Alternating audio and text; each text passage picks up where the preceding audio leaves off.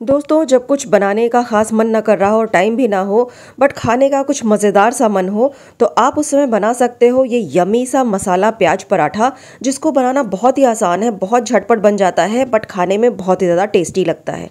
तो इसको आज हम बनाना सीखेंगे। चलिए देखते हैं, इसके लिए हमें किन किन चीज़ों की ज़रूरत पड़ेगी।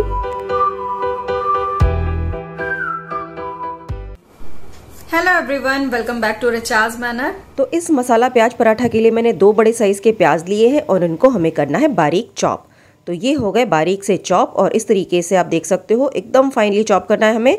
इसके बाद यहाँ पर हम इसको ट्रांसफ़र कर लेंगे एक बड़ी बोल में. इसमें हम कुछ चीज़ें और ऐड करेंगे जैसे कि यहाँ पर मैंने हरी मिर्च बारीक काट कर ले ली है थोड़ा सा हरा धनिया इसमें ऐड किया है बारीक काट कर. इसको स्पाइसी बनाने के लिए हम इसमें ऐड करेंगे आधा छोटा चम्मच रेड चिली पाउडर एंड आधा छोटा चम्मच Kashmiri red chilli powder colour देने के लिए। इसमें हम ऐड करेंगे आधा छोटा चम्मच पाव भाजी मसाला, मसालेदार फ्लेवर के लिए एंड चटपटे फ्लेवर के लिए डालेंगे आधा छोटा चम्मच चाट मसाला पाउडर इसके साथ ही इसमें हम कुछ सूखे मसाले और भी ऐड करेंगे जिससे इसका टेस्ट बहुत ही ज़्यादा इन्हेंस हो जाएगा। आधा छोटा चम्मच भुने जीरे का पाउडर और आधा छोटा चम्मच सौंफ का पाउडर साथ में इसमें डालेंगे एक छोटा चम्मच अजवाइन। इसको आप ज़रूर डालिएगा हाथों के बीच में क्रश करके। प्याज के पराठों में अजवाइन का टेस्ट बहुत ही अच्छा लगता है और एक स्पेशल इन्ग्रीडियंट वो है ये, एक बड़ा चम्मच देसी घी। इसको आप जब ऐड करके ये पराठे बनाएँगे प्याज के तो आप सोच नहीं सकते उनका टेस्ट कितना ज़्यादा बेहतरीन होने वाला है। तो सब चीज़ों को मिक्स करके थोड़ी देर अलग रख देंगे और आपने देखा अभी मैंने नमक ऐड नहीं किया है, नमक तुरंत ऐड नहीं करना है, नहीं तो ये पानी छोड़ देगा। अब इसके लिए आटा गूंदने के लिए मैंने लिया है तीन कप आटा, ये गेहूँ का आटा है, इसमें एक छोटा चम्मच नमक ऐड किया है।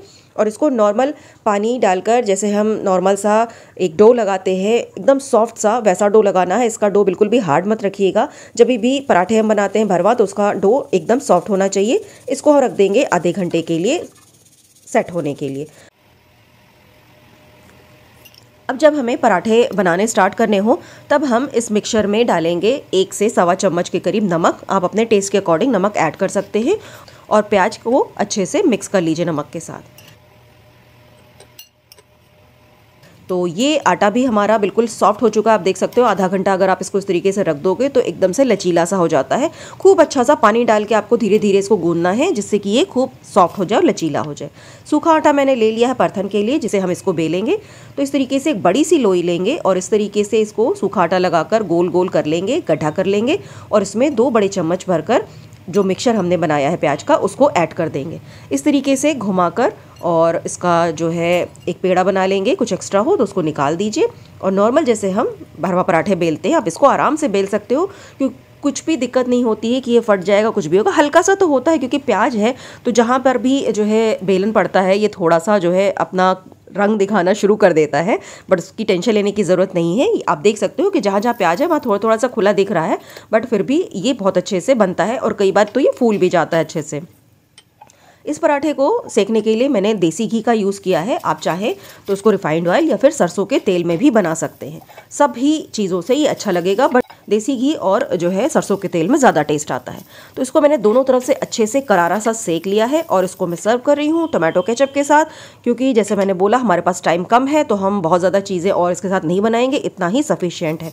दूसरा पराठा भी आपने देखा, जैसे कि ये अच्छा सा फूल भी गया था तो कई पराठे आपके फूलेंगे, कई पराठे नहीं भी फूल सकते हैं।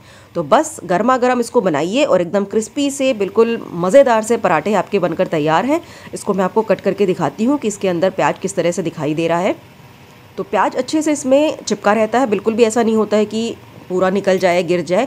तो आसानी से आप इसको जो है बना सकते हो। खासकर मॉर्निंग के टाइम में अगर आपको नाश्ते के लिए कुछ स्पेशल चीज़ चाहिए तो आप इसको ज़रूर बना सकते हो। मैं इसको नाश्ते में जब भी समय कम रहता है, इसको ज़रूर ट्राई करती हूँ। आई होप आप सबको ये वीडियो कुछ हेल्पफुल लगा होगा। वीडियो पसंद आता है तो इसको लाइक एंड शेयर करना बिल्कुल नहीं भूलिएगा। एंड वीडियो देखने के लिए आपका बहुत बहुत शुक्रिया।